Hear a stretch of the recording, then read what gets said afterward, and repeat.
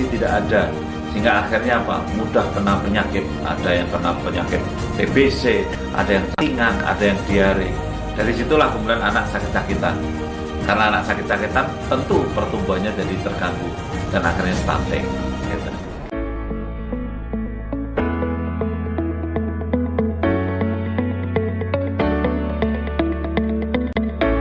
banyak orang bertanya bahwa gimana cara ngatasinya stunting Nah, ingat bahwa stunting ini bisa diatasi kalau sudah lahir, kemudian ternyata stunting bisa diatasi di seribu hari kehidupan pertama sebelum usia 24 bulan. Jadi diatasi dengan cara bagaimana? Nah, asinya harus uh, eksklusif. Kemudian setelah enam bulan harus disertai makanan pendamping ASI.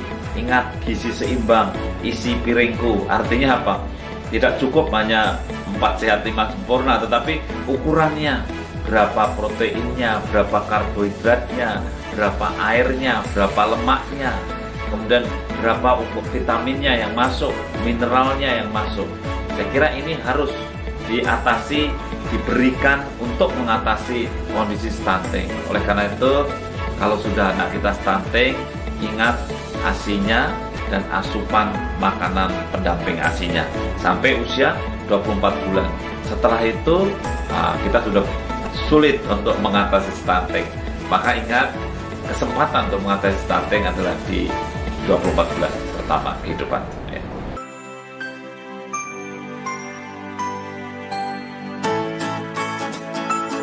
Oleh karenanya pesan saya untuk seluruh masyarakat di Indonesia, mari kita cegah stunting. Karena mencegah tentu lebih murah dan lebih mudah dan pesan saya mencegah stunting itu sejak dari hulu. Sejak anda menentukan mau nikah mau buladu istri calon istri harus dicek dulu. Harus sehat tidak anemia. Kemudian suami juga harus sehat. Ah, kemudian nanti akan menghasilkan embrio dan anak yang sehat atau bayi yang sehat. Nah, dengan cara ini maka akan melahirkan bayi yang tidak stunting. Oleh karenanya rencanakan kehamilan Jangan ada kehamilan yang tidak direncanakan dan jangan hamil kalau memang tidak diperlukan. Artinya memang penting direncanakan. Dan setelah anak lahir jangan disia-siakan, harus diberikan ASI eksklusif yang baik dan kemudian sekali lagi waktu seribu hari kehidupan harus kita manfaatkan dengan sebaiknya. Mudah-mudahan dengan pemahaman kita terhadap masalah stunting dan kegigihan kita dalam mengurus anak mulai dari hamil sampai seribu hari maka insya Allah stunting di Indonesia bisa kita turunkan sampai angka 14% di tahun 2024 sesuai dengan harapan dan himbauan Bapak Presiden Republik Indonesia Bapak Joko Widodo. Terima kasih. Wassalamualaikum warahmatullahi wabarakatuh.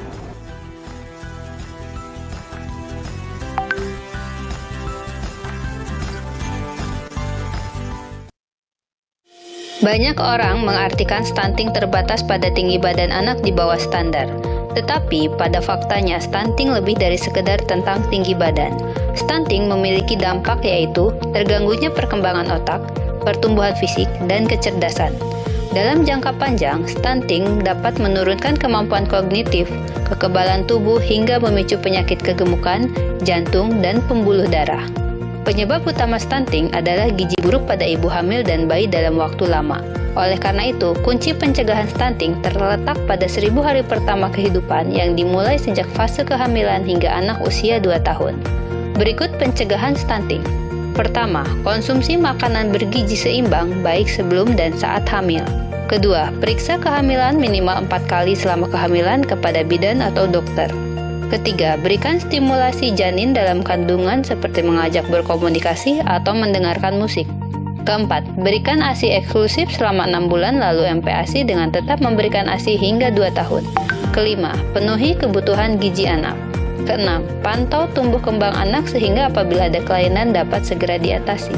Ketujuh, berikan stimulasi pada anak sesuai usianya, misalnya memberikan mainan edukatif. Kedelapan, terapkan perilaku hidup bersih dan sehat. Ayo bersama kita tingkatkan kualitas generasi bangsa. Salam BKKBN, berencana itu keren.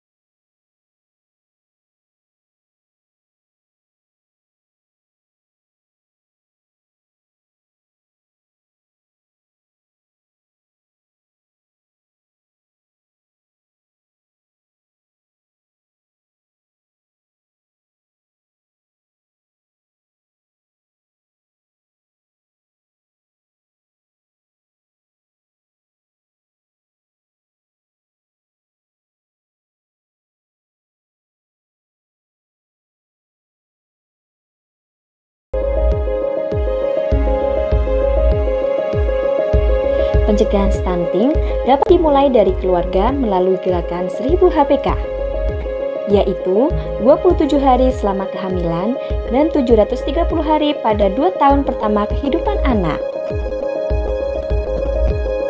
Cara mengoptimalkan pengasuhan 1000 HPK Yang pertama, pada masa kehamilan terdiri dari banyak mengkonsumsi makanan yang mengandung asam folat dan zat besi. Konsumsi tablet tambah darah setiap hari.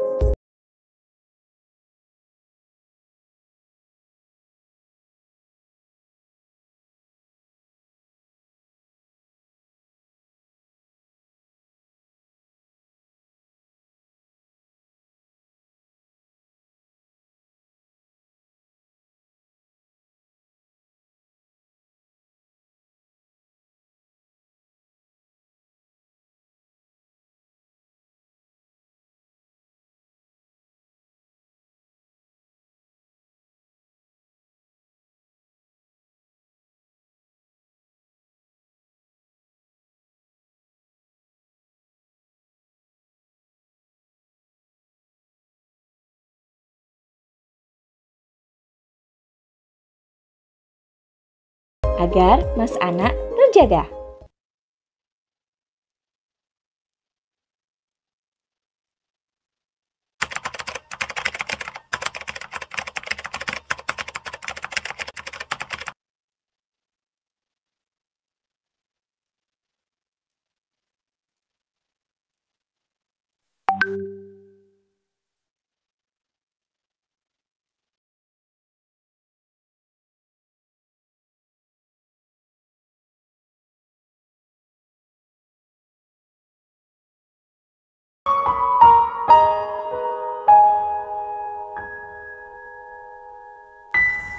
Walaupun hidup berkekurangan dan saya hanya seorang buruh, namun saya selalu memberikan yang terbaik untuk keluarga saya. Saat ini istri saya sedang mengandung calon anak kami. Saya bekerja keras agar asupan gizi bagi mereka terpenuhi. Karena saya tahu, stunting tidak hanya mempengaruhi pertumbuhan fisik, tetapi juga berdampak pada perkembangan dan kecerdasan.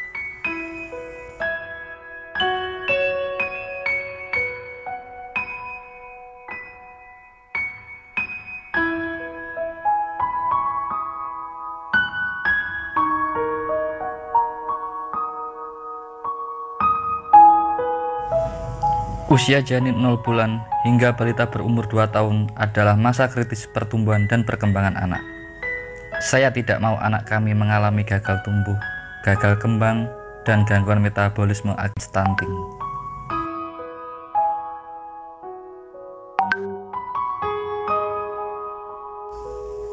Keberhasilan seribu hari pertama kehidupan adalah pondasi utama kesuksesan di masa depan.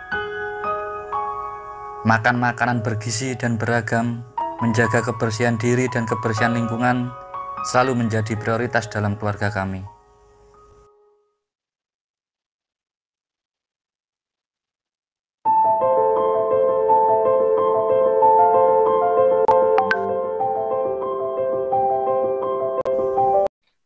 Yes. Assalamualaikum warahmatullahi wabarakatuh. Selamat pagi semuanya. Uh, sebentar lagi kita akan mulai acara obat bapernya. Kami akan cek sound terlebih dahulu. Untuk MC Mbak Kiki, apa dengar suara saya? Pagi Mbak Desi. Pagi. Uh, izin Pak Edi dengar ya, suara. Apa bisa dengar suara saya? Oh ya, oke. Okay. Suaranya terdengar ya Pak. Baik, makasih Mbak. Ya, uh, izin Pak Made. Ya, oke, okay. suara saya bisa kedengar? Oke. Okay. Ya, berarti bisa kita mulai ya, Pak. Karena sudah jam 9. Oke. Okay. Mbak Kiki dipersilakan. Baik, Assalamualaikum warahmatullahi wabarakatuh. Waalaikumsalam warahmatullahi wabarakatuh. Ya, selamat pagi dan salam sejahtera. Yang terhormat, Direktur uh, Kerjasama Pendidikan dan Kependudukan, Pendidikan Kependudukan, Bapak Edi Setiawan. Selamat pagi Pak, apa kabar?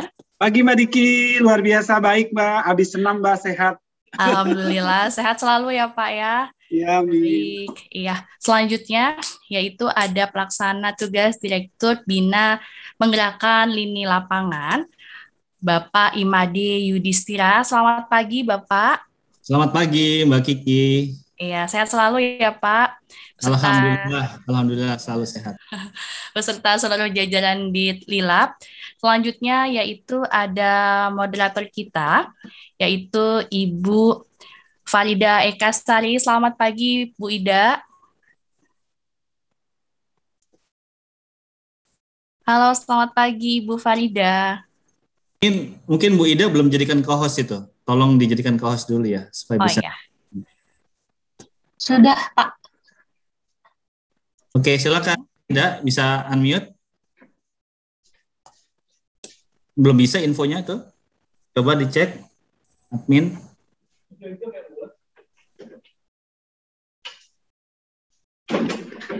Pagi semuanya. Pagi Bu Ida, gimana kabarnya hari ini? Sehat ya Bu? Sehat, Alhamdulillah Mbak Kiki, sehat. Sehat, Alhamdulillah. Saya biasanya kalau menyapa Bu Ida ini dengan Teh Ida gitu ya. Ya, udah pisan ya. Ya, baik. Terima kasih Bu Ida sudah bergabung bersama kami. Dan selanjutnya yeah. kami juga ucapkan terima kasih kepada para seluruh partisipan yang telah bergabung dalam acara obat baper kita pada hari ini.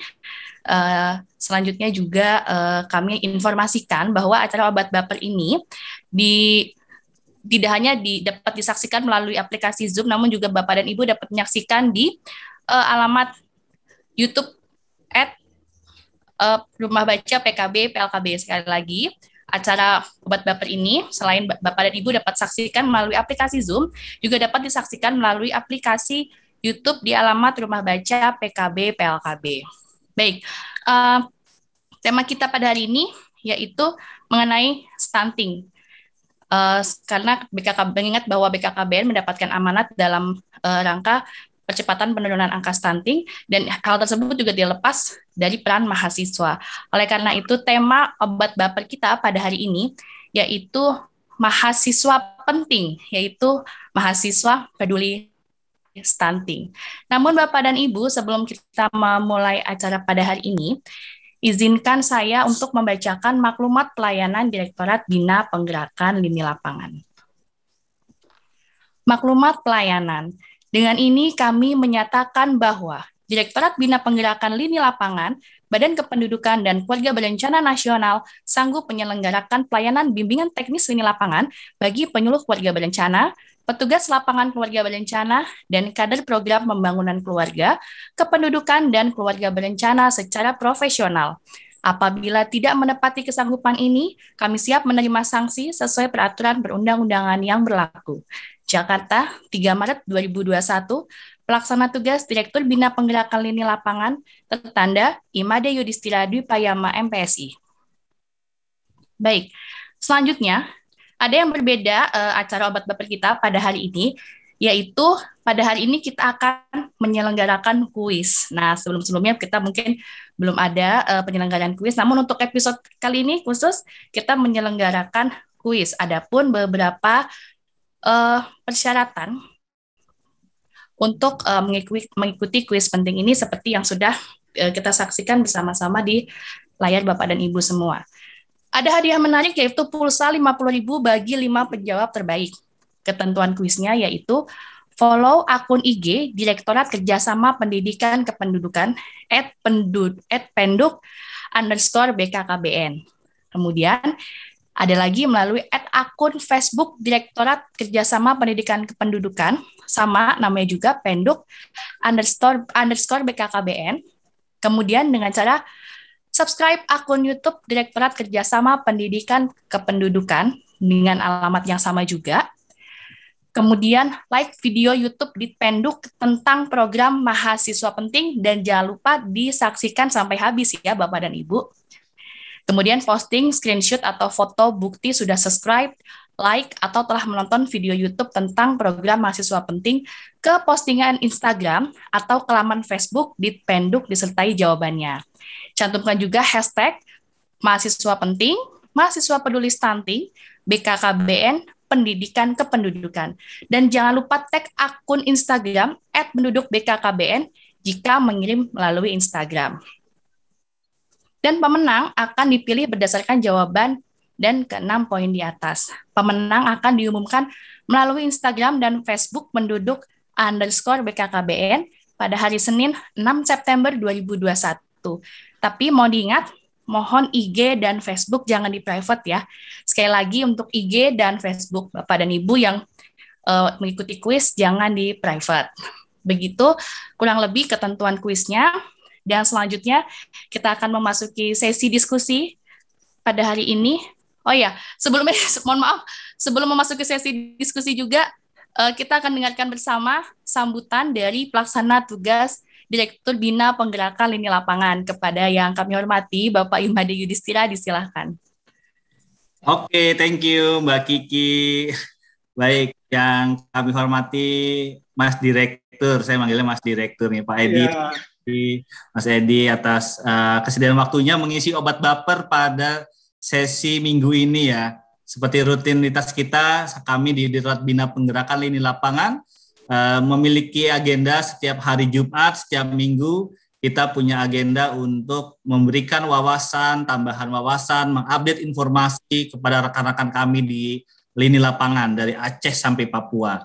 Uh, ya puji syukur ya, puji syukur uh, atas uh, berkat Tuhan Yang Maha Esa kita masih diberikan kesehatan ya, nikmat sehat, nikmat rezeki, tidak kurang apa pun di tengah-tengah pandemi ini adalah nikmat sehat adalah yang paling utama. Ya, kami juga berterima kasih kepada sahabat saya Teh Farida, Teh Ida, saya manggilnya Teh Ida. Terima kasih udah moderator di kajian obat baper ini. Ini sekedar informasi uh, Mas Direktur Teh Ida ini dulu sempat lama di Direktorat Remaja ya. Jadi oh. yang lamanya dia dikenal sebagai uh, emaknya remaja gitu ya. Jadi jangan-jangan mahasiswanya Mas Direktur ini ada salah satu uh, binaannya Teh Ida saat itu. Wah banget ya Pak jadi emaknya. ya. Jadi kakak dong, kakak. Kakak harusnya ya, kakaknya ya, remaja ya, kakaknya remaja. Ya itu uh, sangat menarik kalau kita berkolaborasi sama Teh Ida saat itu ya. Jadi kalau ke provinsi itu yang jemput bukan uh, teman-teman provinsi ya, tapi anak-anak remaja yang menjemput kita gitu. ya. Baik Bapak Ibu uh, rekan-rekan penyuluh KB PLKB se-Indonesia, sekali lagi selamat datang di kegiatan obat baper kita di hari Jumat. Ada tema yang menarik pada hari Jumat ini yaitu mahasiswa penting ya. Apa itu penting ya? Peduli stunting. Ya, tentunya uh, ini menjadi informasi yang perlu kita uh, lakukan, perlu kita simak. Kenapa? Karena uh, uh, Mas Direktur bersama rekan-rekan di uh, Direktorat Kerjasama Pendidikan Kependudukan bersama juga dengan Pusat Penelitian dan Pengembangan KBKR ya, Mas Direktur itu mengembangkan program untuk mahasiswa agar bisa uh, terjun ke lapangan bersama-sama nanti dengan penyuluh KB, PLKB, dengan tim pendamping keluarga untuk mempercepat penurunan stunting, khususnya bagaimana mendampingi calon pengantin, ibu hamil, ibu pasca salin, dan juga keluarga yang memiliki baduta.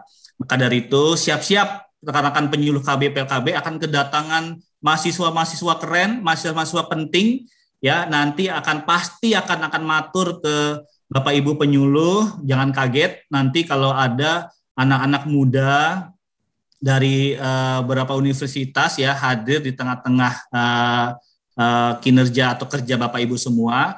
Uh, nanti mungkin bisa diarahkan sekaligus Mas Direktur bahwa uh, kita punya balai penyuluhan di kecamatan. Nah, jadi okay. itu bisa jadi base campnya nanti para mahasiswa untuk membangun hmm bisa ngebangun uh, apa uh, evaluasi dan sebagainya. Ya, nanti kapan-kapan kalau kita ada waktu kita bisa uh, sekaligus uh, uji petik dan mendampingi ke sana ya, Direktur.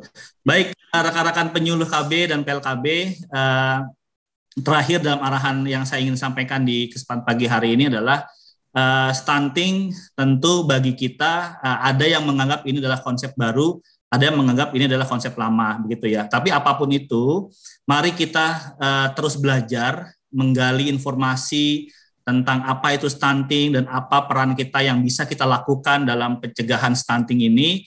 Uh, tentunya Bapak Ibu tidak perlu merasa khawatir, tidak perlu susah mencari informasi. uh, layanan dari Direktorat Bina Penggerakan di Lapangan sebagai supporting di BKKBN tentu akan menyajikan, akan menyuguhkan materi-materi terupdate tentang apa itu stunting gitu ya. Jadi Bapak Ibu kalau ingin butuh materi tentang stunting silahkan uh, di call saja atau dicolek saja atau di WA saja kami-kami di Direktur Bina Penggerakan di Lapangan untuk mendapatkan materi-materi tersebut. Nanti saya dan teman-teman di lini lapangan yang akan berusaha mencari ke beberapa pihak, ke Pak, ke Mas Direktur, ke Teh Ida dan sebagainya ya, yang tentunya menjadi sumber informasi untuk kita semua. Ya, uh, uh, saat ini sudah ada dua materi yang sangat bagus dari Bapak Kepala langsung ya.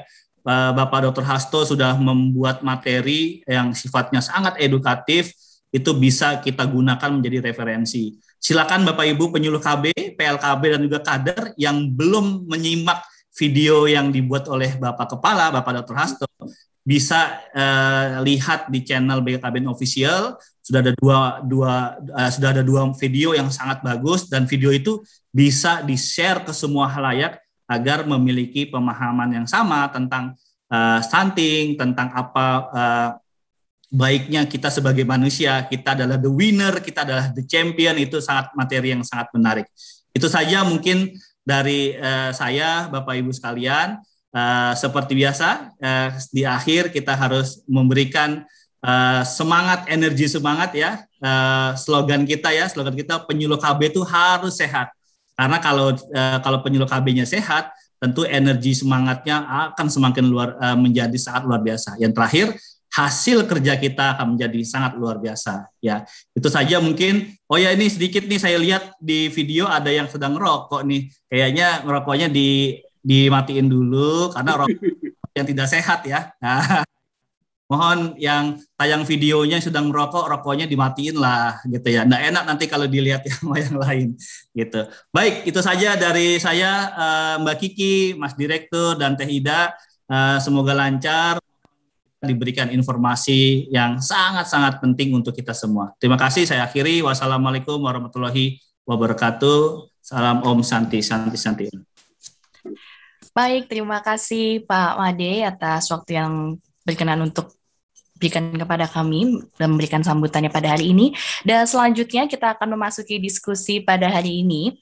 Untuk itu kami persilahkan kepada moderator kita, Teida, untuk memimpin diskusi kita pada hari ini. Kami persilahkan. Assalamualaikum, selamat pagi semuanya. Waalaikumsalam, selamat pagi Teida. Iya, bisa bergabung lagi setelah lima tahun jadi alumni nya Linlab nih. Duh Pak, Pak Made ngajak lagi saya seneng sekali. Jadi tadi Pak Made bilang katanya saya ini sahabatnya beliau ya, tapi kalau misalnya sudah instruksi sore-sore mendadak harus jadi moderator itu bukan bukan sahabat lagi Pak. Itu, itu instruksi direktur itu namanya. saya ingin menyapa Pak Made, terima kasih atas kesempatannya juga kepada uh, Pak Edi, salam kenal. Mungkin saya tuh Salam kenal Teh Ida. Iya, ibarat Kalau di sana Teh Ida, di sini Kang Edi gitu. Oh, Kang, siap Kang. Ini teteh Kang. siap. Ini serius nih Pak ya, boleh kapan lagi? Cuma di obat baper bisa manggil Akang dan Teteh ya. Iya. Kalau di kalau di kantor siap Pak, laksanakan Pak. Baik, uh, Kang, uh, salam kenal. Mungkin ibarat mahasiswa dengan dosen. Saya ini mahasiswa, Akang ini adalah dosen. Saya tahu Akang, tapi Akang nggak tahu saya. Salam kenal ya, Kang. Saya Farida. Baik, saya ingin menyapa rekan-rekan PKB ini semua PKB dan PKB ini di, dilihat di partisipan sudah 228 orang ya. Sudah, wah luar biasa. Boleh nanti izin panitia, boleh nanti dicat dong saya mau tahu absen saya dari mana. Papet Pestari, Pestaria dari mana? Boleh dicat ya. Hadir, PKB dari mana? Nanti biar saya sapa dari mana-mananya. Ini ada mahasiswa juga nggak Pak Made? Mungkin mungkin ada kali teh ya, mungkin ada. Ya. Oh iya. Karena bisa luaskan. Oh, nanti harusnya ada biar nanti saya buzzer ya ke mahasiswa biar pada ikut ya. Baik, uh, luar biasa. saya sangat salut dengan perkembangan apa yang dilakukan oleh Ditbinlab selama saya sudah lima tahun ya Pak Made. Saya tidak di Ditbinlab dari mulai lahirnya Kampung KB saya mulai mulai meninggalkan Ditbinlab. Uh, saya ingin menyampaikan suatu hadiah buat Pak Made sebelum mulai acara ini. Buat Pak Made, rekan-rekan di Ditbinlab. Hadiahnya pantun aja ya. Beli monde dan biskuat. Cemilannya. Pamade yang punya hajat, Linlap semakin hebat. Hey. Cilangkap markas TNI, Markuasa minumnya Fanta, Binlap makan banyak kreasi, mahasiswa kerja nyata. Baik, itu hadiah saya lah buat Binlap ya. Baik, berbicara tentang mahasiswa nih ya. Kita berbicara tentang mahasiswa. Pas banget narasumber kita saat ini adalah mahasiswa abadi bedanya bedanya kalau mahasiswa abadi yang pada umumnya adalah diam di satu kampus di fakultas yang sama di kelas yang sama dalam waktu yang lama. Tapi kalau mahasiswa abadi Pak Edi ini adalah lama jadi mahasiswa tapi berpindah-pindah kampus. Luar biasa tepuk tangan untuk narasumber kita saat ini. Beliau Pak sebagai mahasiswa abadi Beliau juga banyak bersinggungan dengan mahasiswa, program-programnya banyak untuk mahasiswa dan kampus ya Pak ya. Penduk banyak mengembangkan program-programnya. Terus uh, banyak bekerja sama dengan dunia kampus. Pas banget kita berbicara sekarang tentang mahasiswa penting, peduli stunting dengan narasumber Pak Edi dari Ditpenduk. Baik Pak, uh, untuk menyingkat waktu, uh, kami persilahkan kepada Pak Edi untuk membahas bagaimana sih apa sih perannya mahasiswa untuk membantu uh, penanganan. Ini suara saya jelas nggak ya? Jelas, Taida. Jelas, jelas. Oh jelas, soalnya kayak ada patah-patah gitu. Bagaimana sih uh, peranan mahasiswa Pak Edi ya dengan program-program yang dikembangkan oleh Ditpenduk untuk membantu pencegahan stunting Bagaimana pula rekan-rekan dari seluruh Indonesia, PKB, PLKB, para kader seluruh Indonesia ini bisa menggerakkan mahasiswa? Kita tanya langsung pada sumbernya dari Pak Edi ini. Tanam ubi di Cinunuk, ke Ciater Jalan Aspal. Pak Edi dari Ditpenduk jadi narasumber handal. Yeah. Ikan hiu, makan pakan, waktu dan tempat dipersilahkan Kang, mangga. Oke, makasih Teh Ida. Udah, saya nggak bisa pantun nih, nggak nyiapin pantun nih. Nah, tolong mikirin ya Teh Ida ya. Nggak apa-apa itu bagian saya aja Pak, nanti harus Oke, baik. Pak semuanya. baik, kali lagi terima kasih Teh Ida, tadi Teh Kiki, eh, Mbak Kiki yang sudah membuka acara pada pagi hari ini.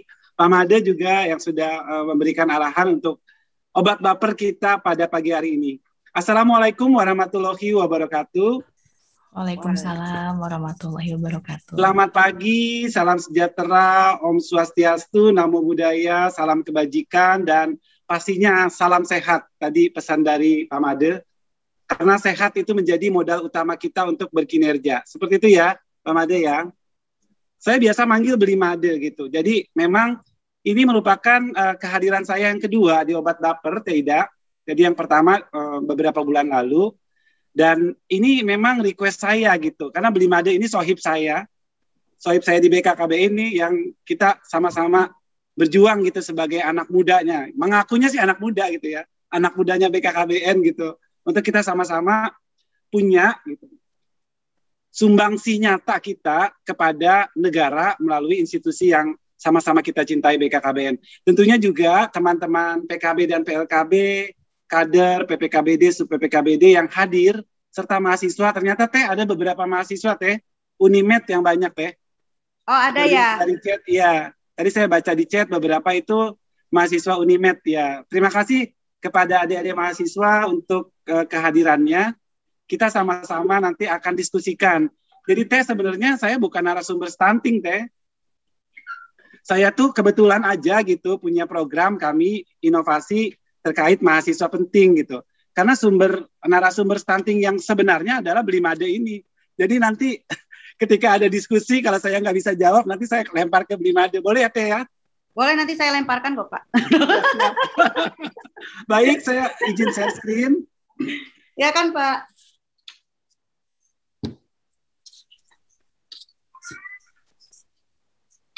Belum tampak ya?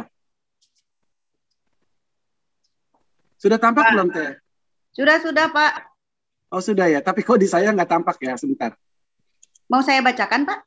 Eh jangan. saya coba stop.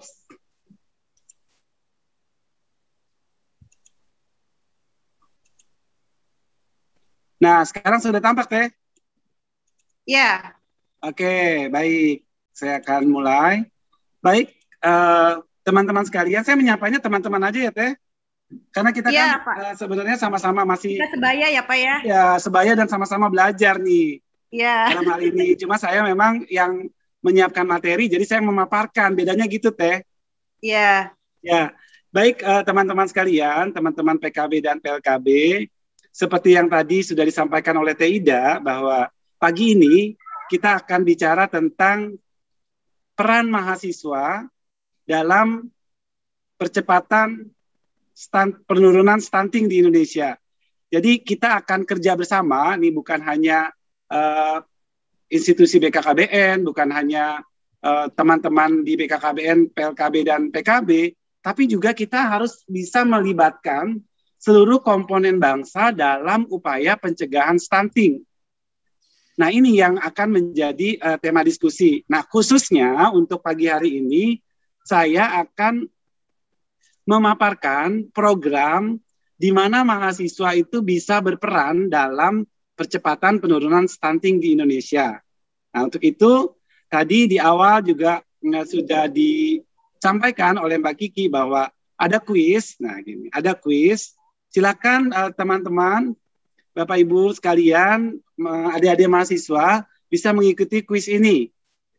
Nah, kuis ini juga sudah kami share. Nanti mungkin di eh, atau mungkin di, eh, di screenshot dulu buat teman-teman yang tidak tergabung dalam WA grup PKB PLKB untuk bisa mengikuti kuis ini. Nah, Karyawan boleh pertanyaan Pak? ya, Hah? Karyawan Gimana? boleh? oh karyawan teh, karyawan nanti hadiahnya dari Pak Made ya.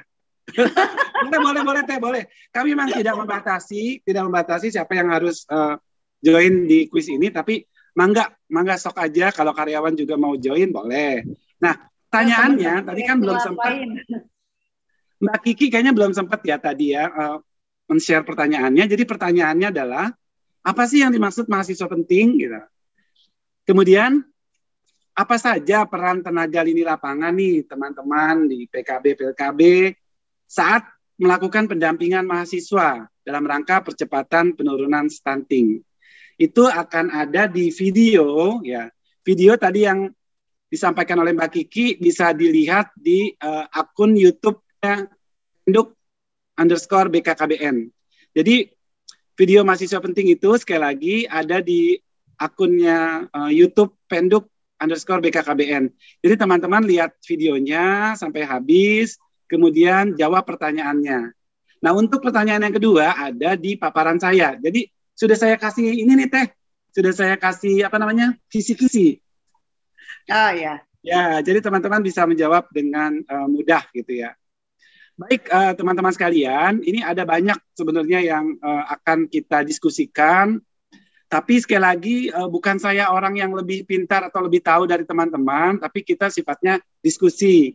Karena saya yang menyiapkan materinya, maka saya yang paparan gitu. Jadi, eh, pertama yang akan kita diskusikan adalah terkait dengan stunting. Kalau teman-teman tadi menonton video, ya, video dari Pak Kepala tadi yang Beli Made sampaikan itu di situ sudah sangat jelas sebenarnya apa definisi stunting, kemudian penyebabnya dan dampaknya apa ke depan. Bukan hanya bagi diri si balita tersebut, tapi juga dampak yang lebih besar yaitu bagi penciptaan sumber daya manusia di Indonesia. Dalam rangka kita bisa meraih bonus demografi dan mencapai Indonesia emas di 2045. Itulah kemudian kenapa stunting ini menjadi program prioritas nasional. Kemudian saya akan sedikit sharingkan juga terkait permasalahan stunting di dunia melalui data-data nanti yang akan saya sampaikan dan juga kondisi stunting di Indonesia. Kemudian apa saja sih eh, program intervensi yang dimiliki oleh BKKBN sebagai ketua pelaksana dan juga oleh kementerian lembaga. Jadi sekali lagi teman-teman PKB dan PLKB kita gitu BKKBN tidak sendirian. Jadi kita didukung oleh semua kementerian lembaga untuk percepatan penurunan stunting ini. Dan berikutnya baru saya sosialisasikan terkait dengan program mahasiswa penting atau mahasiswa peduli stunting. Bagaimana lingkup pendampingan yang akan dilakukan oleh mahasiswa dan bagaimana peran mahasiswa. Serta yang terakhir, ini pesan khusus dari kami untuk teman-teman PKB dan PLKB, kader PPKBD, PPKBD, dan juga adik-adik mahasiswa, sebenarnya apa yang bisa dilakukan oleh teman-teman. Jadi tidak harus teman-teman join ke dalam satu program tertentu, tapi teman-teman juga bisa sebagai diri sendiri, sebagai pribadi itu ikut gitu ya. Ikut melakukan edukasi tentang pencegahan stunting di masyarakat. Paling tidak di lingkungan kecil yang teman-teman punya. Itu kira-kira lingkup apa yang akan kita bahas. Nah, untuk yang pertama, tadi di video Pak Kepala itu sudah clear sekali definisi stunting itu apa. Tapi saya juga mau tahu nih supaya cek ombak dulu gitu ya. Boleh ya Teh Ida ya? Iya, Pak. Ya, teman teman-teman bisa join di ini, ketik www.menti.com. Coba teman-teman mohon bisa klik www.menti.com, silakan. Kemudian isikan kodenya, kode untuk masuk 9059228. Silakan teman-teman www.menti.com kemudian kodenya 9059228. Jadi yang saya mau teman-teman mengisikan maksimal dua kata kalau teman-teman uh, dengar kata stunting atau apa sih stunting gitu. Masukkan maksimal dua kata. Saya tunggu ya. Boleh ya Teh ya? Kita Boleh Pak. Aduh, uh, satu menit ikutan nih Pak ya. Ya, karena saya pengen tahu nih dari video yang tadi sudah ditayangkan oleh teman-teman panitia, sudah masuk belum nih informasi tersebut ke teman-teman. Jadi apa sih stunting itu gitu. Tapi jangan panjang-panjang ya. Jangan copy paste dari Google kemudian dimasukkan ke mentinya jangan ya. Maksimal dua kata aja. Saya akan uh, stop share kemudian saya akan lihat hasilnya.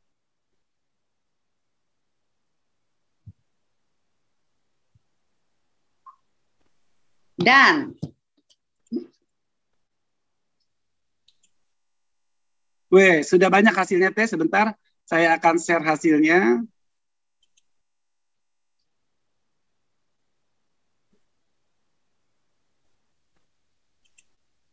Senang nih sama Kang Edi jadi interaktif ya kita. Iya teh, sekarang harus begitu teh kita supaya teman-teman juga nggak bosen gitu teh. Jadi harus uh, kita melibatkan mereka juga gitu, melibatkan teman-teman. Nah Cocok ini udah kelihatan teh hasilnya teh. Oh apa tuh katanya ya? Gagal tumbuh, pendek, gangguan pertumbuhan. Ya. Ada yang jawab masalah kesehatan, pendek dan gizi buruk, pengerdilan, pendek dan kurang gizi. Sudah banyak yang join, kita masih tunggu satu menit ya Teh. Ya, ya Pak. Teman-teman punya kesempatan juga untuk share. Lola, wah ada yang jawab Lola Teh. Loading lama ya gitu. Kayak internet Lola. Jangan-jangan curhat itu ya. Ada yang jawab cebol. Cebol, kerdil banyak juga. Ada yang jawab, wah teman-teman ini aktif sekali nih. Masih ada tambahan lagi? Oh, masih ada banyak. Kondisi tinggi badan anak, oke. Okay. Gagal tumbuh anak, Ya, kita lihat yang paling besar itu jawaban yang paling banyak, Teh. Apa yang paling? Jadi yang pendek. Ini udah kelihatan ya, Teh? Pendek, iya. Udah, sudah, ya, Pak. Udah kelihatan ya. Berarti uh, sebagian pendek besar. Pendek dan gagal tumbuh itu yang paling banyak ya? Ya, pendek dan gagal gizi. tumbuh. Kurang gizi. Berarti gimana, beli Made? Teman-teman sudah paham ya? Ya, normatifnya uh, um, memahami akhirnya ya. Kalau kita simpulkan kurang gizi, pendek, gagal tumbuh. Berarti kita tutup aja ya beli ya. Caranya. Enggak ya, ini ini akan masuk terus nanti mungkin di akhir bisa saya share lagi hasil akhirnya seperti apa. Tapi posisi sekarang paling banyak itu adalah pendek, gagal tumbuh dan kurang gizi. Artinya teman-teman udah keren nih ya. Udah keren banget emang PKB PLKB itu keren banget, sumpah. itu udah memahami apa itu stunting. Jadi mungkin saya nanti juga akan skip-skip saja beberapa uh, materi yang terkait dengan apa yang sudah teman-teman pahami. Ya, kita kembali lagi.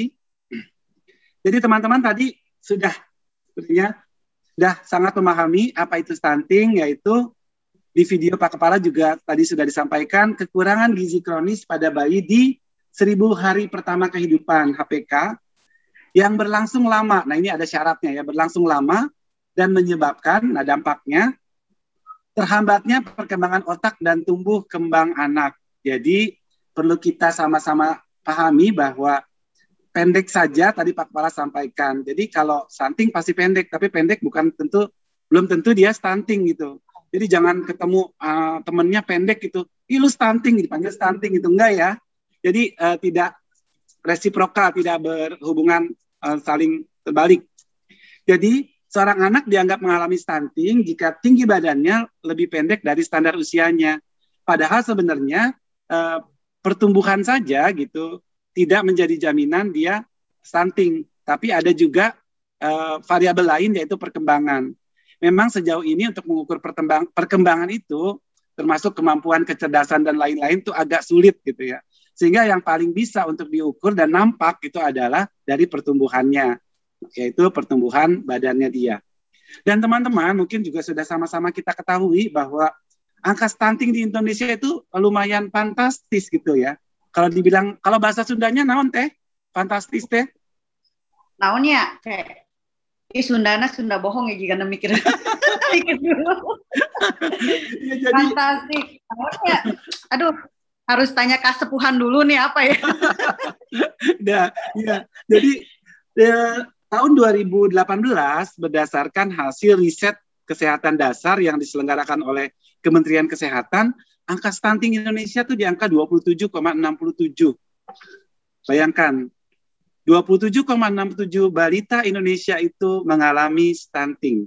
Atau satu dari tiga anak di Indonesia itu mengalami stunting. Meskipun angkanya sudah turun, tapi ini masih menjadi problematika utama terkait dengan kondisi gizi balita di Indonesia. Kemudian apa saja faktor penyebabnya? Dari video tadi juga kita sudah dapatkan informasi. Ternyata faktor penyebabnya kalau bisa kita identifikasi menjadi empat faktor besar itu ada yang namanya praktek pengasuhan yang tidak baik. Jadi si ibunya tidak dapat edukasi yang baik tentang bagaimana perawatan baik itu pasca melahirkan sampai balita. Kemudian faktanya itu ada 30% dari anak usia 0 sampai 6 bulan yang tidak mendapatkan ASI eksklusif. Nah, kemudian dua dari tiga anak usia baduta itu tidak menerima makanan pendamping ASI. Nah, ini faktanya mungkin juga yang teman-teman PKB PLKB hadapi di lapangan ya sebagai teman-teman di lini lapangan. Ini masih menjadi uh, fenomena dan fakta yang ada di lapangan untuk itulah nanti uh, ada kita sounding juga bagaimana peran teman-teman di lapangan. Kemudian yang kedua adalah kurangnya akses ke makanan bergizi. Nah, jadi satu dari tiga ibu hamil itu men, apa, menderita anemia. Padahal tadi di video Pak Kepala sampaikan bahwa anemia itu menjadi penyebab utama uh, anak yang dilahirkan ini menjadi stunting. Jadi anemia pada ibu hamil itu menjadi penyebab anak menjadi stunting. Dan parahnya, teman-teman sekalian, masih ada stereotip di, di masyarakat bahwa untuk mendapatkan makanan yang bergizi itu mahal. Nah, nanti saya perkenalkan uh, program baru dari BKKBN yang sudah di launching bulan lalu, yaitu Dasyat, Dapur Sehat Atasi Stunting. Ternyata makanan bergizi itu nggak mahal gitu. Itu pesan yang uh, mau disampaikan. Kemudian uh, yang ketiga, faktor penyebabnya adalah terbatasnya layanan kesehatan, termasuk di sini layanan antinatal care, postnatal dan juga pembelajaran dini. Jadi faktanya satu dari tiga anak usia 3 sampai enam tahun itu tidak terdaftar di pendidikan anak usia dini di PAUD. Nah, ini juga mungkin jadi tugas teman-teman di lapangan melakukan edukasi, advokasi supaya anak-anak usia 3 sampai 6 tahun ini bisa menjadi atau bisa uh, terdaftar gitu ya di dalam PAUD yang ada di wilayahnya mereka. Kemudian dua dari tiga ibu hamil ini belum mengkonsumsi suplemen zat besi yang memadai. Padahal sudah ada programnya di sana bahwa ibu-ibu hamil diberikan tablet tambah darah sehingga nantinya anak yang akan mereka lahirkan itu tidak menderita stunting. Kemudian juga ini uh, fakta yang berikutnya ini mungkin juga akibat dari pandemi, tapi sebelum pandemi juga memang ada tren menurunnya tingkat kehadiran anak di posyandu. Dan berikutnya layanan atau akses terhadap imunisasi itu juga tidak terpenuhi secara full gitu. Ini yang menjadi uh, penyebab-penyebab stunting dari terbatasnya layanan kesehatan, dari identifikasi faktor terbatasnya layanan kesehatan. Nah, yang berikutnya ini yang menjadi tugas kementerian lembaga di luar kesehatan itu adalah kurang akses ke air bersih dan sanitasi. Faktanya di Indonesia satu dari lima rumah tangga itu masih buang air besar di ruang terbuka. Bahkan di beberapa daerah ini masih menjadi budaya gitu. Sehingga walaupun misalnya sudah dibangunkan uh, toilet umum gitu oleh pemerintah dalam hal ini Kementerian PUPR, tapi karena budaya mereka lebih senang untuk pup ya di ruang terbuka. Tidak enggak kan ya Teh? Enggak Pak. Oh enggak ya, udah syukur. Kalau enggak enggak bisa masuk kata-kata Ibu Direktur apa Kesga dari Depkes tuh ya Pak. Kemenkes dari Kemenkes. Saya pernah bilang saya juga begitu Pak, pendek terus kata dia. Tapi kalau kalau stunting nggak bisa masuk BKKBN katanya Pak. Halo? Ya Teh, uh, masih fakta berikutnya. Iya. Satu dari tiga rumah tangga memiliki akses uh, belum memiliki akses ke air minum bersih. Nah ini juga masih menjadi uh, apa ya problematika gitu ya di kaitannya dengan uh, akses terhadap air minum yang bersih. Nah ini juga jadi salah satu yang kita advokasi ya, beri made ya ke Kementerian PUPR bahwa dalam rangka pengentasan stunting di Indonesia, dua hal besar ini masih menjadi problematika terkait dengan akses ke air bersih dan juga penyediaan sanitasi yang layak bagi keluarga-keluarga yang ada di Indonesia. Nah, kemudian bagaimana proses terjadinya stunting ini juga eh, teman-teman pasti tadi uh, sudah melihat juga dari videonya Pak Kepala bahwa um, proses terjadi stunting itu diawali dari benar-benar prakonsepsi gitu. Ketika seorang remaja ini menjadi calon ibu yang dia anemia dan kurang gizi, itu menjadi potensi yang sangat besar ketika dia kemudian menikah, hamil, itu melahirkan anak yang stunting. Yang kedua pastinya ibu hamil. Kalau ibu hamilnya anemia dan kurang gizi, maka bisa dipastikan bahwa si anaknya nanti akan stunting. Dan yang ketiga tadi ternyata ibu ibu tersebut kemudian bayi yang dilahirkan itu tinggal di lingkungan dengan sanitasi yang kurang memadai dan akses terhadap air bersih sangat terbatas. Jadi walaupun tadi ketika ibunya hamil kemudian dapat gizi yang baik, tapi ketika anaknya lahir ternyata hidup di lingkungan dengan sanitasi yang buruk itu menjadi potensi juga si anak menjadi stunting. Itu ada di videonya Pak Kepala nanti bisa di download dan di uh, sama-sama di uh, tonton oleh teman-teman sekalian.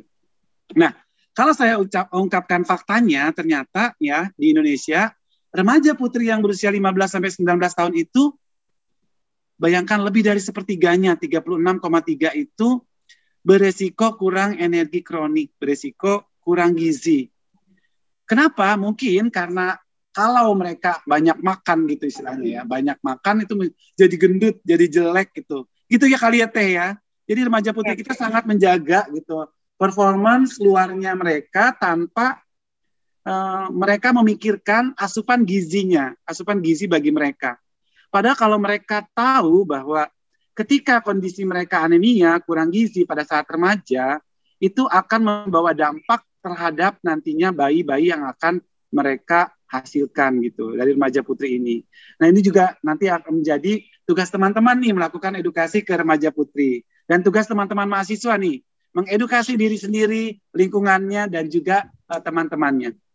Kemudian, fakta yang berikutnya, wanita usia subur usia 15 sampai 49 tahun itu lebih dari sepertiganya, 33,5-nya itu hamil dengan resiko kurang energi kronik. Ini sudah bisa dipastikan bahwa anak-anaknya nanti akan stunting. Dan 37,1 persennya anemia.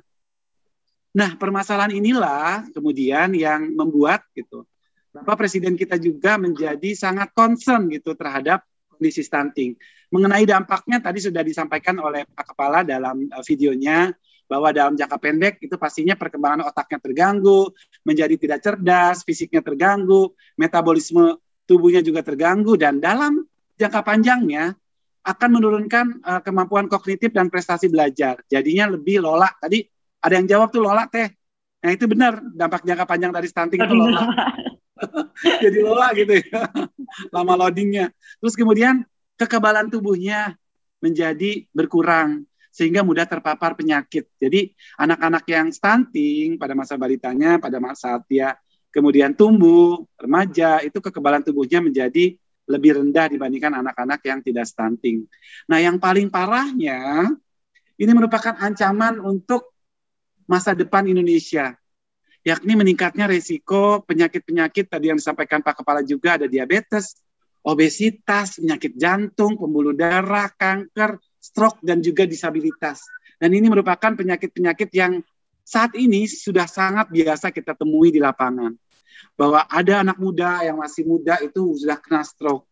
Nah ini mungkin ketika mereka balita mereka adalah penderita stunting. Nah karena begitu besarnya dampak maka kita harus sama-sama bisa nih punya peran. Nah itu itu itu pesannya. Nanti kita akan sampai ke situ. Yang kedua saya akan mengungkapkan beberapa fakta nih. Jadi masalah stunting juga bukan hanya masalah Indonesia, itu perlu dicatat faktanya bahwa 22,2 persen balita di dunia itu ternyata penderita stunting. Bapak Ibu bisa bayangkan, kalau di antara tiga gitu ya, tiga permasalahan gizi itu ada overweight, kemudian wasting dan stunting, stunting lah yang paling besar angkanya. Kalau yang wasting atau tinggi ya, kurus kurus sorry bukan tinggi kurus itu hanya 7,5 persen. Jadi yang triple burden ini, yang stunting ini, yang paling tinggi yaitu 22,2 persen. Nah, kalau kita lihat untuk lingkup ASEAN gitu, Indonesia mendapatkan medali perunggu. Kita kasih tepuk tangan. Tapi nggak happy ya, perunggu untuk stunting. Jadi ini hasil dari data WHO di 2018 memang angkanya agak sedikit berbeda gitu dengan angka riskesdas angka stunting di Indonesia menurut WHO lebih tinggi dibanding tadi angka riskesdas. Jadi ada 36,4 persen balita di Indonesia yang mengalami stunting. Yang paling tinggi adalah Timor Leste, itu satu dari dua anak di Timor Leste itu stunting. Kemudian yang kedua India. Nah, sedangkan Thailand, nah kita perlu belajar nih dari Thailand, angka stuntingnya hanya 10,5 persen saja. Nah, Inilah kemudian yang menyebabkan kita harus punya suatu cara-cara yang extraordinary gitu ya. Tadi sudah saya sampaikan faktanya di sini bahwa satu dari tiga anak di Indonesia itu mengalami stunting. Dan 8 juta anak Indonesia mengalami pertumbuhan yang tidak maksimal. Itu dari data Riskesdas 2018 juga. Nah kalau kita lihat per provinsi, ayo coba lihat. Provinsi teman-teman, Berapa angka stuntingnya? Ada yang dari Nusa Tenggara Timur. Selamat, angka stuntingnya 43,82 persen. Dan ini harus menjadi concern dari teman-teman. Apa yang bisa teman-teman lakukan agar NTT ini angka stuntingnya turun? Kemudian ada Sulawesi Barat, ada NTB, nah ada Nusa Tenggara Barat, ada Gorontalo, dan ada Aceh. Yang biasanya untuk indikator-indikator pembangunan yang lain Aceh itu tidak terlalu bermasalah. Tapi untuk stunting Aceh itu ada di angka 34,18 persen. Nah, yang menggembirakannya memang ada beberapa provinsi yang punya prevalensi stuntingnya rendah, yaitu Bali. Nah, hebat luar biasa Bali dengan angka stunting hanya 14,42 persen. Kemudian Kepri di 16,82, Kepulauan Bangka Belitung 19,93 dan DKI Jakarta 19,92. Inilah empat provinsi yang punya angka prevalensi stunting di bawah 20%. Tapi bukan berarti mereka harus apa berpangku tangan diam-diam aja. Nah, teman-teman yang dari empat provinsi tersebut juga harus punya target. Targetnya adalah zero stunting. Bukan 14% lagi, tapi zero stunting di wilayah-wilayah yang memang prevalensinya sudah cukup rendah. Nah, tadi sudah saya sampaikan angka stunting saat ini di 27,67, kemudian hasil prediksi para ahli gizi, angka stunting akibat pandemi itu bisa naik sekitar 30 sampai 32 persen. Artinya kita tidak tahu sebenarnya angka yang sebenarnya dari stunting. Karena Riskesdas terakhir di 2018, kemudian SSGBI, survei status gizi balita itu di 2019. Tapi 2020 dan 2021 kita tidak punya data. Nah, hasil PK 2021 nanti diharapkan eh, bisa menjadi data dasar untuk kita eh, melaksanakan percepatan penurunan stunting. Karena di sana juga teman-teman ikut terlibat juga kan bagaimana uh, form stunting itu dikumpulkan. Nah, teman-teman, kalau kita lihat dari target Pak Presiden terhadap eh, BKKBN dan kita semua, sebenarnya target itu bukan hanya kepada BKKBN, tapi kepada semua komponen bangsa ini, komponen anak bangsa ini. Jadi 14% ini harus menjadi acuan kita bersama. Nah, dengan target 14% itu diharapkan rata-rata penurunan per tahun itu dua setengah persen ini uh, merupakan target yang wow, ya. Tidak targetnya WOW atau wow. Wow. ya. Karena pengalaman negara-negara tetangga teh Vietnam butuh 15 tahun teh buat sampai mencapai uh, target tersebut. Kita hmm. hanya dua dua setengah tahun. Nah bayangkan amanah ini harus kita laksanakan dalam dua setengah tahun. Kalau cara-cara kita yang biasa aja, cuma melakukan edukasi dan dilakukan oleh tenaga-tenaga penyuluh, itu nggak akan berhasil. Oleh karena ini, salah satu inovasi yang kami lakukan adalah merangkul semua komponen bangsa termasuk adik-adik mahasiswa. Bagaimana setiap komponen bangsa itu bisa berperan dalam percepatan penurunan stunting dan bisa mencapai target di 14 eh, persen. Teh ada yang raise hand tapi nanti aja ya Teh. Ya nanti Pak. Oke, soalnya ada yang raise hand tapi nanti aja. Nanti saya bacakan diskusinya. Mungkin sudah nggak sabar Teh. Pengen diskusi sama Akang katanya. ada, ada beberapa pertanyaan. Ya, ini saya sounding lagi bahwa BKKBN ditunjuk sebagai ketua pelaksana program percepatan penurunan stunting. Bahkan di awal tahun 2021 sudah disonding melalui rapat terbatas. Tapi memang secara peraturannya, perpresnya sendiri baru dikeluarkan uh, pada bulan Agustus, di tanggal 5 Agustus, yang merupakan hadiah besar nih ya, hadiah besar bagi BKKBN dengan dikeluarkannya peraturan Presiden nomor 72 tahun 2021 di mana di dalamnya kita merangkul semua KL untuk sama-sama bekerja dalam rangka melaksanakan amanah 14% di 2024. Kemudian pencegahan dan intervensi. Nah, kalau ini teh, ini jagonya teman-teman teh di lapangan. Yeah. Saya cuma sounding aja dan saya justru belajar dari teman-teman di lapangan nantinya. Bagaimana sih intervensi terhadap stunting ini yang visible, yang mungkin untuk bisa kita lakukan di lapangan. Jadi kalau secara general, intervensinya itu dibagi menjadi intervensi sensitif dan intervensi yang spesifik. Nah, yang sensitif tadi yang saya bilang, ada sanitasi yang kurang layak, maka harus ada intervensi di sana.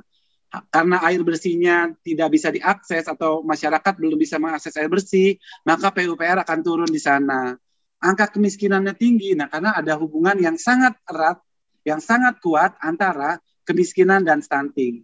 Tadi ya, asupan gizi masyarakat karena miskin, tidak dapat akses terhadap makanan yang bergizi. Nah, ini kementerian lembaga termasuk Kementerian Sosial itu mengintervensi dari sisi pengentasan kemiskinannya.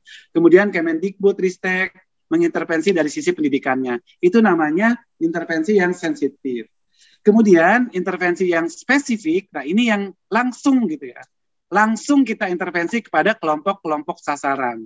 Dari video Pak Kepala tadi kita sudah sama-sama tahu bahwa kelompok sasarannya itu nanti adalah catin ya calon pengantin termasuk juga remaja putri, di mana tiga belum tiga bulan sebelum menikah kita harus dapat memastikan bahwa si catin ini bebas anemia, mempunyai gizi yang bagus gitu ya. Maka akan ada screening nanti uh, kerjasama dengan Kementerian Agama nih dan juga teman-teman dari Handrem ya LC Mil dengan LC Milnya.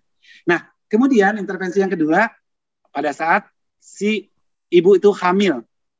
Nah, tentunya harus memastikan bahwa ada antenatal care, monitoring pertumbuhan janinnya, kemudian memastikan nutrisi ibu hamil terjamin, ada KIE. Nah, KIE ini yang dilakukan oleh teman-teman, KIE tentang KB, tentang kesehatan reproduksi, dan juga tentunya adalah ketika setelah melahirkan, bagaimana intervensi terhadap si ibu tersebut, uh, kita advokasi untuk KB, pasca persalinan, dan juga kepada si badutanya, bina keluarga baduta dan balita, kemudian memastikan adanya pemberian makanan tambahan, utamanya bagi kasus-kasus balita stunting dan juga bantuan bagi keluarga yang berisiko stunting. Ini uh, gambaran dari intervensi yang sensitif dan juga intervensi yang spesifik. Nah, terkait dengan layanan intervensi, saya yakin ini teman-teman di lapangan yang paling tahu gitu. Bagaimana intervensi yang harus dilakukan pada saat uh, si ibu hamil tadi ya, yang nantinya akan menjadi salah satu indikator uh, capaiannya juga persentase ibu hamil yang kekurangan energi menjadi berkurang. Kemudian juga untuk case yang remaja putri, untuk yang anak-anak baduta, untuk anak-anak yang balita itu akan ada banyak intervensi dan teman-teman pasti sudah paham apa yang harus dilakukan di lapangan untuk mengintervensi baik itu calon pengantin, ibu hamil, ibu pasca melahirkan, kemudian juga baduta dan juga balita. Kemudian untuk intervensi yang sensitif tadi sudah saya sampaikan, layanan KB-nya kemudian kita tingkatkan, kemudian cakupan pus yang memeriksakan kesehatan sebagai bagian dari pelayanan uh, pranikahnya mereka. Terus juga kemudian tadi akses sanitasi, kemudian juga tadi air bersih dan juga uh, jaminan kesehatan nah itu ya itu juga jadi bagian penting bahwa uh, bagaimana masyarakat kita itu punya akses terhadap jaminan kesehatan nasional dan juga pastinya uh, jumlah keluarga miskin di Indonesia berkurang itu menjadi salah satu produk itu ikutan untuk bisa kita sama-sama mengentaskan stunting di Indonesia. Kemudian, oh, Kang Edi, ya. boleh kita cuma ada waktu enam menit lagi. Oke, okay, baik. Akan lebih banyak untuk diskusi lagi. Baik, baik Teh. Saya nawar boleh Teh? 10 menit. Boleh, lah. boleh. 10 menit. Kalau buat Kang Edi mah apa sih enggak boleh aja. uh, semalam saya udah tanya uh, ke Blimade, Blimade saya sampaikan tentang stuntingnya dulu enggak gitu. Enggak apa-apa, Mas Bir katanya. Mungkin teman-teman juga ada beberapa yang belum terpapar gitu untuk untuk itulah kemudian saya coba untuk uh, mengawalinya dengan stunting teh. Tapi nggak apa-apa, saya akan coba untuk uh, ya. sampai sampai ke tujuan. Ini uh, sesi khusus untuk Mas Direktur, bisa lebih. oh gitu, siap. Sudah ada lampu hijau nih Kang, lanjut. Nggak apa-apa, nggak apa-apa. 10 menit cukup. 10 menit cukup ya. Oke, okay, baik. Ya, uh, terkait dengan intervensi gizi, nah kita punya program baru nih yang baru di launching bulan lalu, yaitu Dasyat. Dapur Sehat Atasi Stunting atau Dasyat di Kampung Keluarga Berkualitas. Nah, kampungnya Teida nih. Yaitu upaya pemberdayaan masyarakat dalam upaya pemenuhan gizi seimbang bagi keluarga berisiko stunting, terutama bagi keluarga yang kurang mampu. Ini juga bagian dari tadi intervensi kemiskinan. Jadi bagaimana tujuannya itu untuk meningkatkan kualitas gizi masyarakat, utamanya bagi keluarga-keluarga yang berisiko stunting. Nah, di mana tadi sudah saya sampaikan di kampung keluarga berkualitas. Jadi paling tidak targetnya satu desa itu nantinya ada satu dasyat ya. Teman-teman, Bapak Ibu PLKB, ini menjadi target yang wajib gitu untuk dipenuhi bahwa paling tidak satu desa itu ada satu dapur sehat atasi stunting. Kemudian targetnya juga adalah ibu-ibu hamil, pastinya ibu menyusui, kemudian balita, dan juga masyarakat yang masuk ke dalam kategori miskin. Nah, pelaksananya ini bisa pemerintah desa, ibu-ibu PKK, kita libatkan semua komponen di desa untuk bisa mewujudkan dapur sehat atasi stunting. Nah, dananya dari mana? Eh, BKKBN punya program yang sangat luar biasa, yaitu 1000 mitra untuk 1000 HPK. Nah, dari mitra-mitra tersebut kemudian uh, mereka akan join ke dalam program ini untuk bisa membiayai gitu. Atau mungkin uh, desa juga punya dana desa yang bisa jadi uh, modal awal gitu untuk bisa membuka dapur sehat atasi stunting. Karena yang namanya dapur perlu modal ya Teh ya. Nggak bisa dapur iya. ngebul gitu tanpa modal. Oke. Kemudian kaitannya dengan ini, teman-teman juga nanti harus bisa mengedukasi masyarakat bahwa ternyata makanan sehat itu nggak harus mahal. Makanan sehat itu ada di depan rumah kita, misalnya pohon kelor gitu yang lagi viral gitu ya. Pohon kelor ternyata gizinya luar biasa. Kemudian lele. Nah, ini juga jadi pembelajaran untuk saya. Ternyata lele itu kandungan gizinya itu jauh lebih besar dari daging sapi. Itu faktanya dari profesor-profesor gizi ketika bicara stunting. Jadi lebih jangan malu. Lagi, ya, ya? Kurang teh? Lebih murmer lagi. Iya, itu dia 18 ribu gizinya sama atau lebih tinggi dari daging sapi yang impor yang 105 ribu per kilogramnya. Hmm. Nah itu kadang pemahaman masyarakat kita itu masih perlu kita edukasi teh dan uh, teman-teman sekalian. Makan lele itu lebih bergizi daripada makan daging sapi. Hmm. Nah itu yang yang mungkin hal-hal sepele seperti itu yang bisa teman-teman lakukan di lapangan. Yeah. Jadi makan bergizi itu tidak harus mahal, itu kuncinya teman-teman. Jadi dari makanan-makanan yang ada di sekitar kita, kemudian juga yang bisa kita uh, hasilkan sendiri, itu bisa menjadi potensi makanan yang bergizi. Makanya kemudian Belimada kemudian uh, mengantar Pak Kepala ya ke Kementerian Pertanian, nanti akan ada program khusus. Bagaimana nanti pekarangan-pekarangan rumah warga itu bisa menjadi potensi untuk menghasilkan makanan-makanan yang bergizi katakan digali aliran airnya kemudian dikasih bibit lele gitu.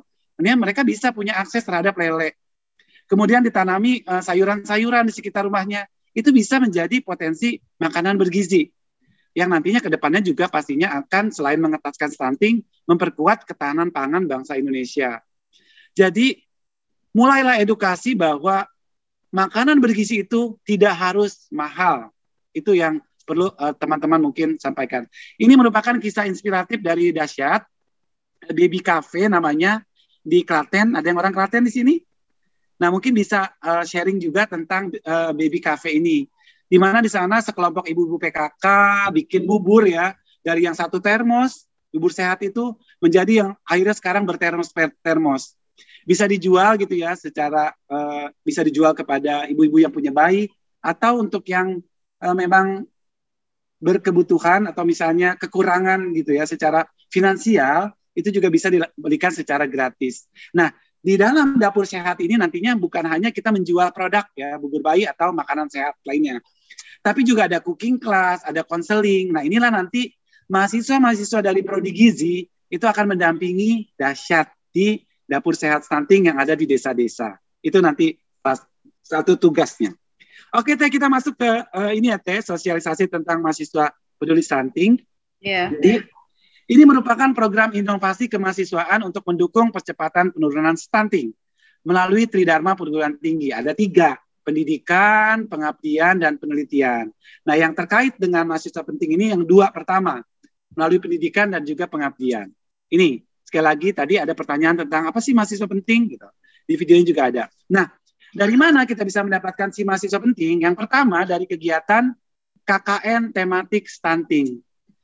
Setiap perguruan tinggi pastinya akan menyelenggarakan KKN. Setiap tahunnya bisa beberapa periode KKN. Nah, untuk tahun 2021 akhir sampai dengan nanti 2024 dan seterusnya, KKN ini akan kita arahkan kepada tematik stunting.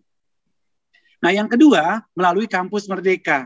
Jadi, Mas Menteri itu punya satu program yang sangat luar biasa yang dinamakan Merdeka Belajar Kampus Merdeka.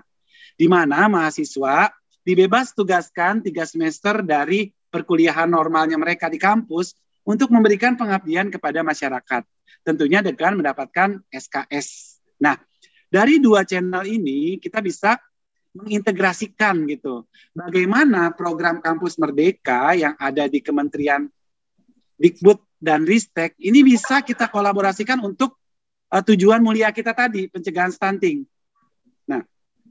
Ini saya skip aja, nanti mungkin teman-teman bisa akses sendiri. Nah, dari kegiatan-kegiatan yang di Kampus Merdeka, banyak sekali yang bisa diintegrasikan untuk bisa melakukan edukasi stunting pada masyarakat.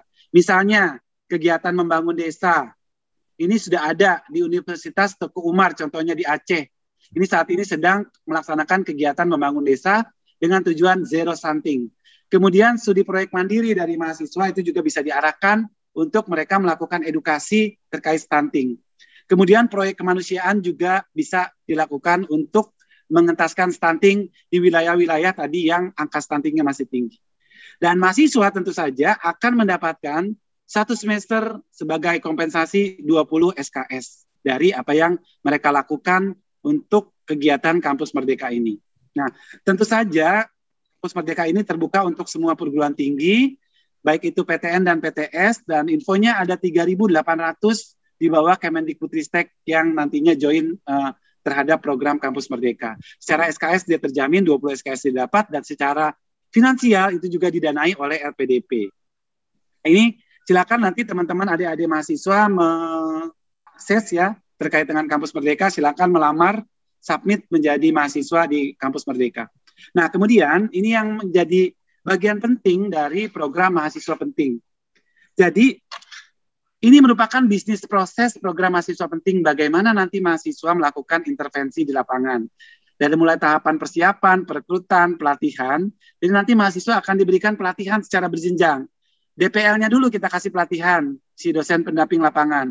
Kemudian dosen akan memberikan pelatihan kepada mahasiswa. Tapi mahasiswa juga eh, kami harapkan bisa akses terhadap e-learning yang kami akan bangun.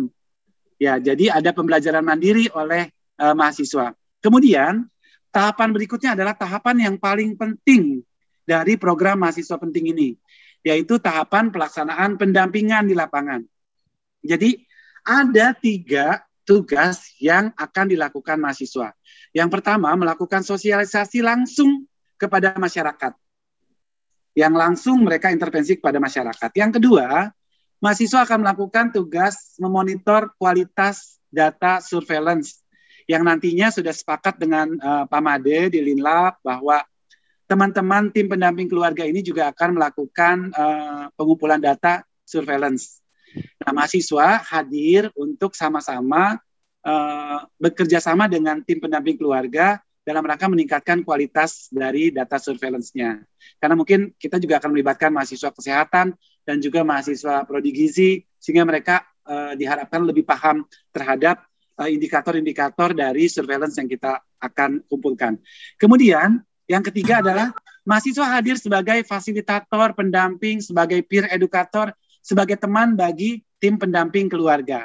Nah ini peran penting mahasiswa ini saya bagi digolongkan menjadi tiga. Kemudian selanjutnya mahasiswa melakukan analisis dan identifikasi masalah di lokus tempat penelitiannya dan menghasilkan laporan serta rujukan nantinya yang akan menjadi rekomendasi baik itu untuk kepala desanya.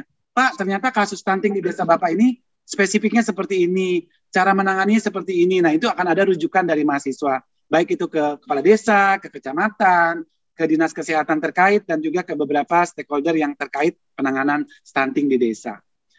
Kemudian konsep yang ditawarkan, konsep yang akan diusung adalah konsep pemberdayaan. Jadi diharapkan mahasiswa itu KKN cuma 1 sampai 3 bulan. Kemudian program Kampus Merdeka paling lama satu semester. Jadi bagaimana mengintervensi kelanjutannya? Nah ini nanti jadi salah satu tugas mahasiswa melakukan kaderisasi kepada anggota masyarakat, nanti Karang Taruna atau siapa pun di sana, untuk meneruskan perjuangan mahasiswa ketika mereka sudah balik ke kampus. Atau menurunkan, mewariskan terhadap adik-adik kelasnya untuk bisa mengawal kelanjutan dari program intervensi yang dilakukan oleh mahasiswa. Nah, ini tadi uh, secara garis besar sudah saya sampaikan bisa dilakukan dengan kunjungan ke rumah kelompok sasaran, menempelkan poster, menjelaskan tentang stunting itu apa, dampaknya apa, penyebabnya apa.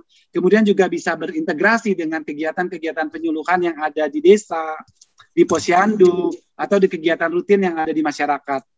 Dan juga bisa uh, melakukan edukasi di dahsyat tadi ya, dapur sehat atasi stunting karena di sana juga ada pojok-pojok edukasi dan juga ada beberapa uh, pojok untuk konseling di sana. Nah, ini juga yang menjadi uh, bagian terakhir teh dari bahasan kita. Yeah. Dan saya akan menekankan sekali lagi uh, percepatan penurunan stunting itu bisa terlaksana kalau semua komponen bangsa punya peran, termasuk teman-teman PKB PLKB yang sangat keren ini. Nah, apa saja perannya? kalau kita lihat dari lima pilar pencegahan ada pilar kedua yaitu kampanye nasional dan komunikasi perubahan perilaku. Nah, Hal inilah sebenarnya yang secara apa ya kecil saja bisa kita lakukan. Bagaimana kita menjadi agen sosialisasi. Nah, saya akan sampaikan tadi dari bisnis proses mahasiswa penting, maka PKB dan PLKB yang keren-keren ini, tapi mohon maaf gambarnya hidungnya agak nggak kelihatan ya. Padahal PKB dan PLKB itu keren-keren semua pastinya, ada hidungnya juga. Jadi gambarin huruf L gitu jadi hidungnya gambar L. Oke, okay, baik. baik. Teman-teman sekalian, Teida dan teman-teman bahwa di tahapan keempat inilah sebenarnya ada peran yang sangat penting dari uh, eh, PKB dan PLKB, yaitu menjadi koordinator atau pengarah bagi si mahasiswa. Teman-teman lah yang istilahnya hostnya ya, tuan rumahnya di desa tersebut, di kecamatan tersebut. Maka nanti mahasiswa akan berkoordinasi dengan teman-teman PKB dan PLKB. Kemudian menjadi teman diskusi bagi mahasiswa, terus kemudian menjadi pendamping bagi mahasiswa dan yang paling penting teman-teman itu posisinya sebagai narasumber untuk mahasiswa penting karena masih teman-teman yang paling tahu bahkan mungkin teman-teman yang paling tahu si apa keluarga A ini ada anak baduta yang stunting keluarga B ini ada calon pengantin keluarga C ini ada ibu-ibu yang hamil atau ada ibu yang menyusui nah teman-teman ini nanti yang akan mengarahkan mahasiswa Eh, menjadi pendamping, menjadi narasumber, menjadi teman diskusi bagi mahasiswa. Peran penting dari teman-teman PKB dan PLKB.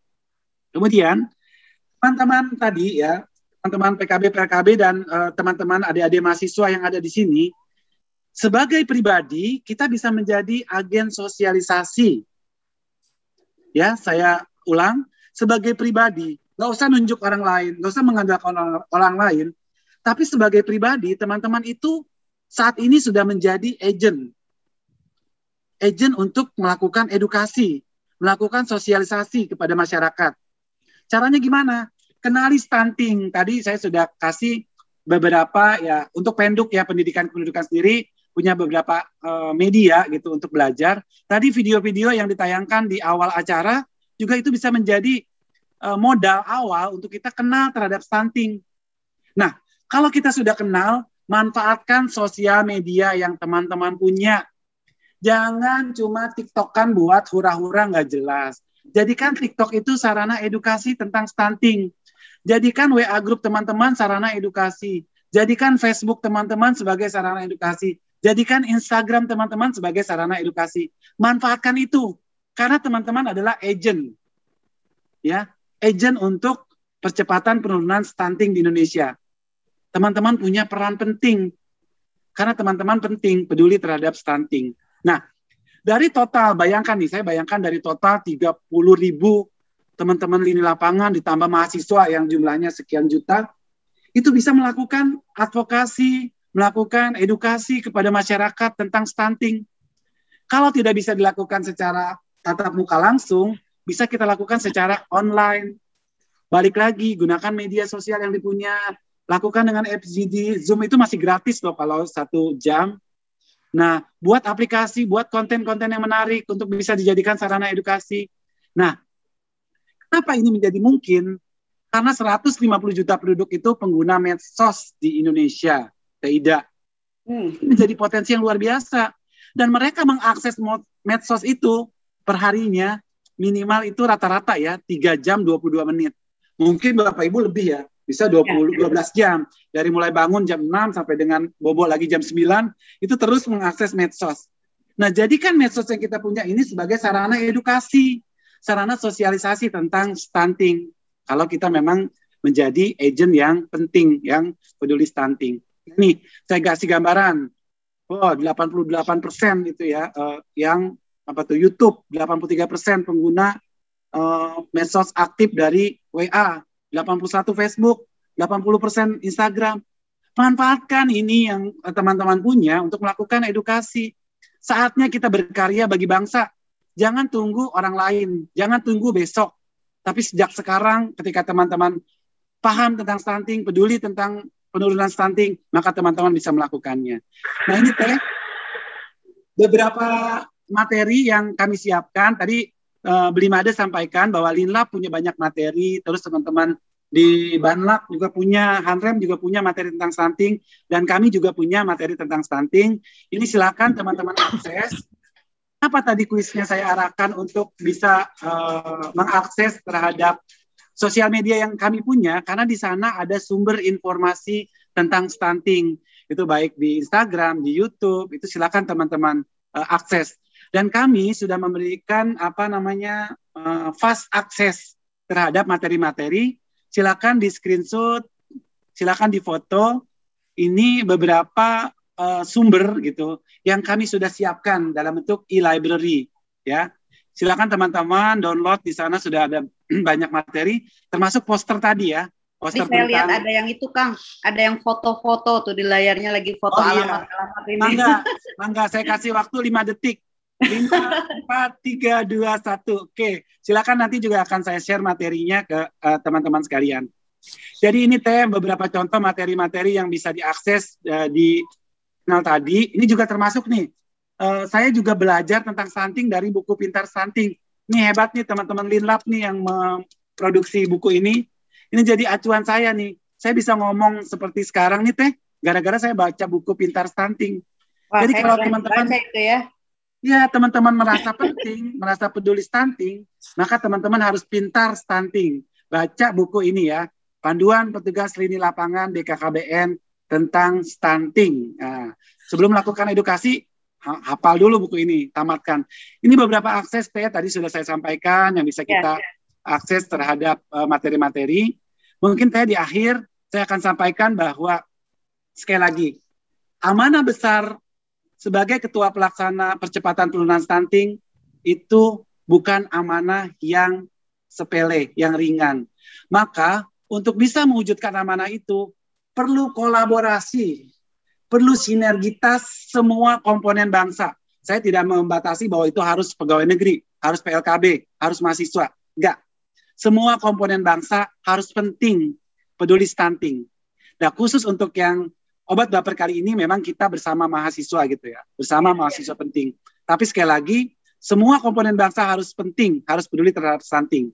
Dan bersama mahasiswa penting, kita mengedukasi masyarakat tentang stunting. Karena hidup berencana itu keren. Demikian dari saya. Wassalamualaikum warahmatullahi wabarakatuh. Mohon maaf kalau apa melanggar waktu yang sudah ditetapkan oleh Teh uh, Ida. Saya kembalikan lagi penuhnya kepada Teh Ida. Monggo Teh, silakan Teh Teh Mangga. Waalaikumsalam hatur nuhun. Terima kasih Kang Edi. Ya Allah luar biasa ya. Itunya apa namanya semangat kekiniannya. Semuanya melalui medsos, semuanya melalui uh, digital luar biasa. Itu yang sangat mudah diakses oleh masyarakat saat ini ya, ya Kang ya. Uh, sebelum sebelum kita buka ada banyak pertanyaan-pertanyaan yang menarik dari ini ini sepertinya Unimed ini kerjasama sama di Penduk ya? Uh, hampir semua kampus nanti teh akan kerjasama dengan BKKBN yeah. di semua kantor perwakilan.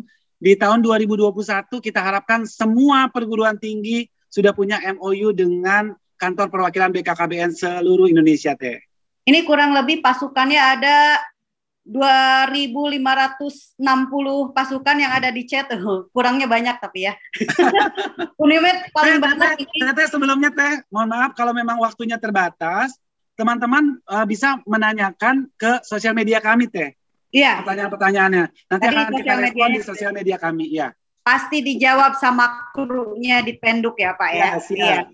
Jadi tadi kalau misalnya mahasiswa yang sosialisasi, monitor surveillance, fasilitator itu ada waktunya atau memang ditentukan kampus atau pada saat KKN atau bagaimana? Kang? Ya, jadi kami uh, karena kan perguruan tinggi itu tidak di bawah wewenangnya BKKBN ya Teh. Hmm. Jadi kami menyerahkan sepenuhnya masalah waktu dan mekanismenya kepada masing-masing perguruan tinggi. Kami yeah. hanya integrasikan uh, terkait temanya aja, tema stunting dan kami buat materinya, kami bikin TOT-nya, kami bikin pembekalannya, kami kawal nanti di lapangannya seperti itu Teh. Jadi yeah, semua iya. wewenangnya yeah. dari perguruan tinggi Teh. Baik, uh, se uh, sebelum kita simpulkan tadi ada ada pertanyaan yang menarik ya ya Pak ya. Apa ada hubungan dari mahasiswa sepertinya yang bertanya ini? Apa ada hubungannya uh, dengan suami bibitnya suami? Kok yang diintervensi cuma ibu hamil, cuma gizi anaknya, terus si suaminya itu bagaimana? Katanya gitu Pak. Itu dari mahasiswa. Iya. iya teh. uh, ternyata ada teh dari suami teh. Ya. Jadi uh, hasil penelitian menunjukkan bahwa laki-laki uh, yang merokok gitu itu menjadi uh, nanti apa namanya kualitas dari spermanya itu juga menjadi lebih buruk teh sehingga nantinya menjadi potensi ketika terjadinya konsepsi itu menjadi potensi anaknya nanti stunting teh. Termasuk oh, juga dari... perokok pasif iya. Oh jadi ada juga kontribusi lak uh, dari suami ya? Iya.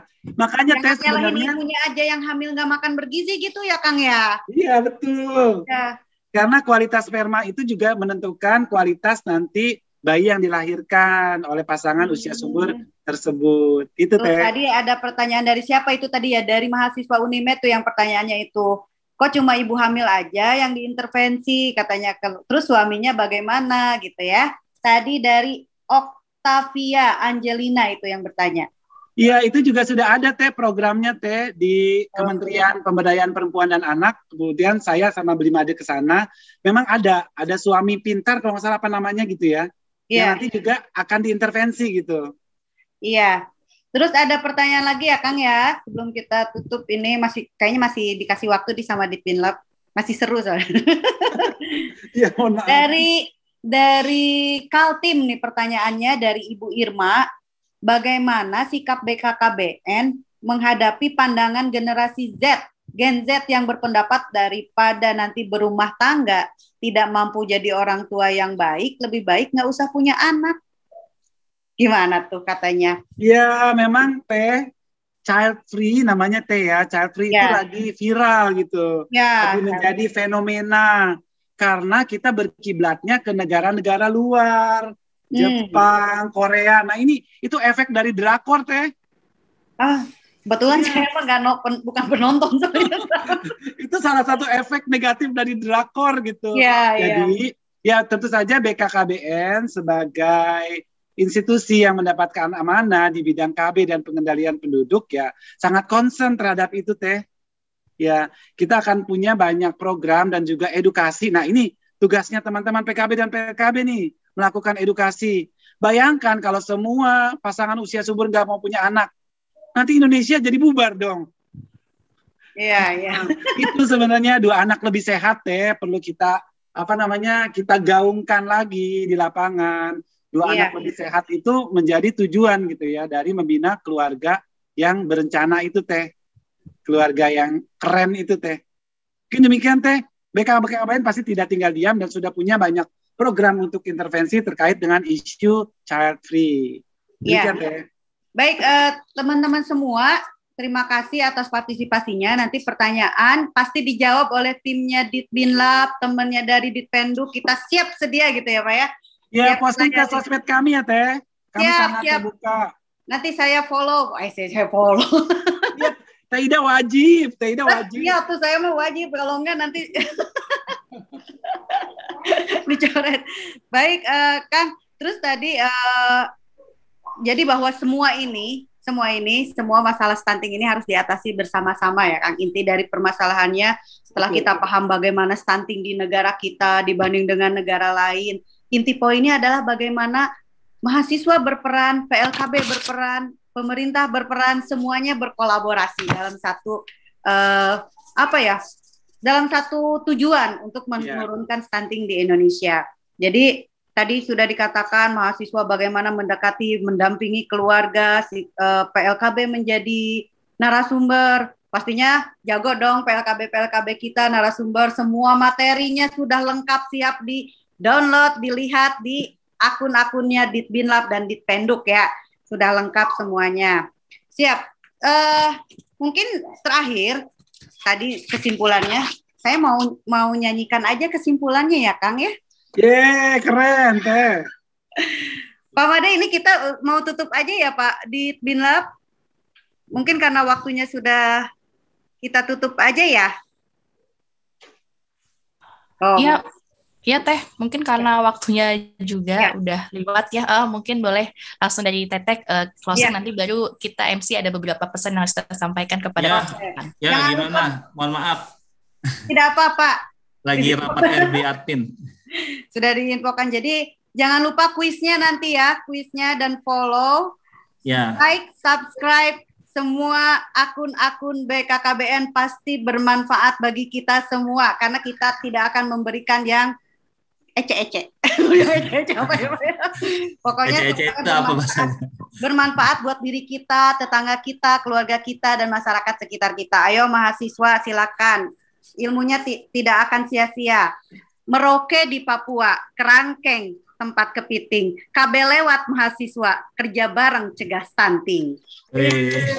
ya, berhubung saya orang Sunda, saya nyanyi dulu ya. Ada taunya nada lagu Manuk Dadali. Mau Mari bareng-bareng menjaga keturunan agar anak cucu hidupnya lebih maju. Ciptakan generasi sehat, pintar, dan soleh. Capai Indonesia maju dan siap bersaing. Mari berantas stunting, jangan saling menuding. Kerjasama sama usaha yang utama. Pemerintah, rakyat, serta rakyat semuanya. Mahasiswa peduli serta aktif mengabdi. Kampus peduli, stunting teratasi. Kampus membantu, stunting mati kutu. Mahasiswa pintar, stunting tak menyebar Mahasiswa gemilang, stunting akan menghilang. Beri tepuk tangan untuk kita semua. Luar biasa mahasiswa-mahasiswa kita PLKB semangat ya kita goyang PLKB kita goyang PLKB kita goyang mahasiswa-mahasiswa yang ada di seluruh Indonesia buktikan kita bisa kru kita 21 ribu luar biasa bisa menggoyang Indonesia Raya terima kasih waktu dan tempat saya serahkan kepada Mbak Kiki, protokol yang cantik. Aida, rekam ya. dong lagunya. Oh siap, aduh suaranya sumbang. iya baik, terima kasih Teida. Teida, aku udah nggak di protokol lagi. Kan aku sekarang udah di lini lapangan teh, masih meja protokol yang mengatur acara gitu. masih nempel image Oke, baik. Terima kasih kami ucapkan kepada narasumber kita, Bapak Direktur Kerjasama Pendidikan Kependudukan, Bapak Edi Setiawan dan kepada Teida atas perkenan waktu dan kesempatannya untuk bergabung bersama kami dalam acara Obat Bapak di episode pada hari ini. Baik, uh, Bapak dan Ibu, sebelum saya close acara pada hari ini, kami akan membacakan dua pertanyaan untuk kuis pada hari ini.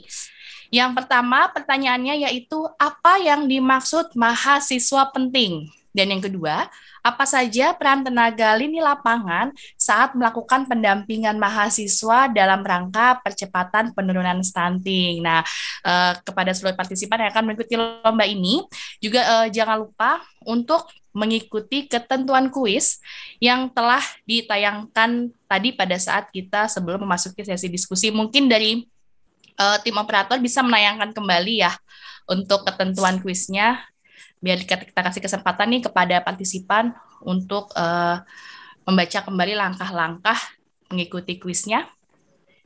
Tim operator mungkin bisa kembali menayangkan untuk ketentuan kuisnya.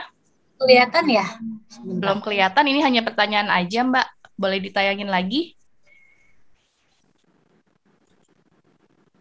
Atau saya boleh Mbak Kiki Oh iya, boleh. Bapak uh, juga boleh, Pak. Mohon maaf, Pak. Iya, nggak apa-apa. Sok, ini dia. Ah, nih Bapak dan Ibu mungkin uh, bisa difoto ya untuk disimpan ketentuan kuisnya seperti apa. Setelah uh, melakukan langkah-langkahnya, jangan lupa untuk menjawab pertanyaan yang telah disampaikan tadi.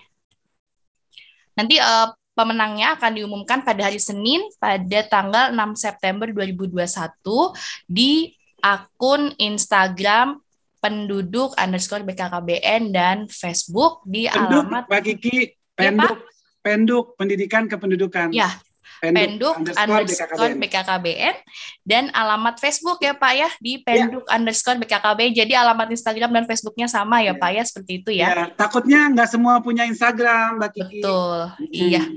Uh, uh. Baik Bapak, terima kasih ya Pak. Uh, kami sudah di, diingatkan lagi.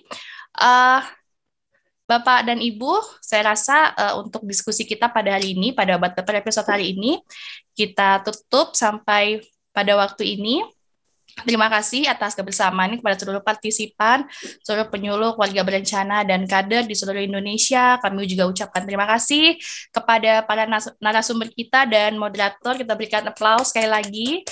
Baik, terima kasih Bapak dan Ibu dan seluruh tim panitia yang telah membantu penyelenggaraan acara Obat Baper pada hari ini. Permohonan maaf kami apabila selama penyelenggaraan acara ini terdapat hal-hal yang kurang berkenan di hati. Akhir kata, wabillahi taufik wal hidayah. Wassalamualaikum warahmatullahi wabarakatuh. Dan jangan lupa berencana itu keren. Terima kasih Limade, Mbak Kiki, Mbak Ida, ya, Ida. Sama, Terima kasih, sehat-sehat selalu semuanya. Iya. Edi. Ida, jangan lupa lagunya direkam. Iya, Pak. Hmm. Ditunggu ya. Mama Ade nanti yang ngiringinnya. beli made mana beli made? Ditunggu ya teman-teman untuk